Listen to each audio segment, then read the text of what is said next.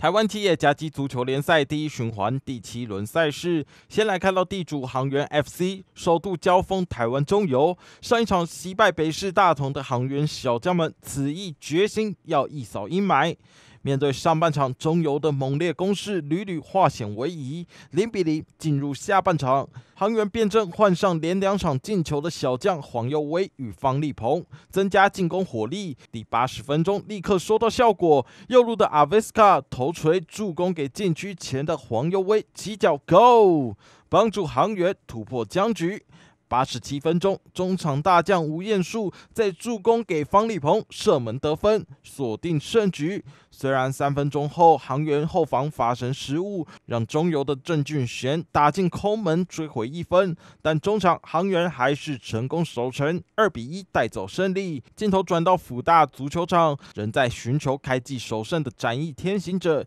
迎战实力相近，也是以大学生为主要班底的连红台体。双方上半场有来有往，但都难越雷池一步，直到中场前的伤停补时阶段，展翼天行者抓准对方漏球失误，大脚向前给到当家前锋林伟杰，形成与守门员单挑局面，接着将球轻轻挑起，顺利破门得分。